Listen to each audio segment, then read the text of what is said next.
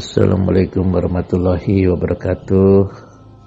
Gerbang menuju kepada keyakinan akan mimpi-mimpi Muhammad Qasim sebagai Al-Mahdi adalah hadis sahih ya. Hadis sahih mengenai uh, mimpi bahwa di akhir zaman kata baginda Rasul SAW itu tidak ada lagi wahyu, tidak ada lagi nabi. Namun Allah Subhanahu wa taala memberikan pesan melalui mimpi-mimpi. Itu kabar gembiranya itu melalui mimpi-mimpi.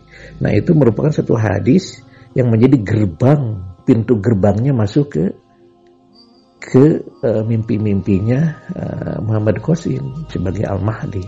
Begitu. Karena begini, hadis itu kan sumbernya dari Rasulullah SAW. Hadis itu.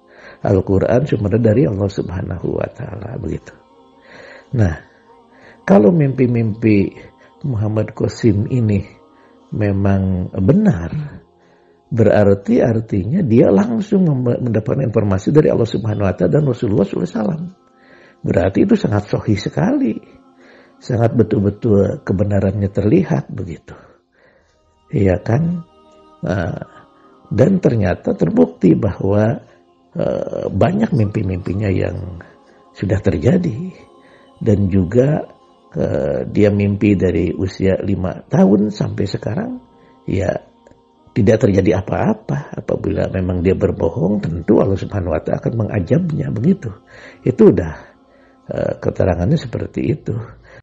Dan yang terpenting juga yang patut disampaikan kepada yang bertanya adalah bahwa Islam itu sudah sempurna jadi Allah Subhanahu wa taala telah menyempurnakan agama yaitu Islam yaitu di pada rasul yang terakhir itu baginda Muhammad Rasulullah Shallallahu alaihi wasallam.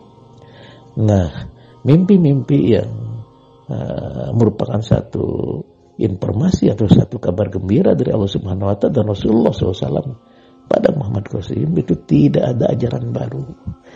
Tidak ada sesuatu yang baru tetapi mengingatkan kita memotivasi kita bagaimana kita uh, apa uh, bersama-sama bersatu untuk membangun Islam sebagaimana Islam pada waktu 1400 tahun yang lalu yang dipimpin oleh baginda Rasulullah Shallallahu Alaihi Wasallam.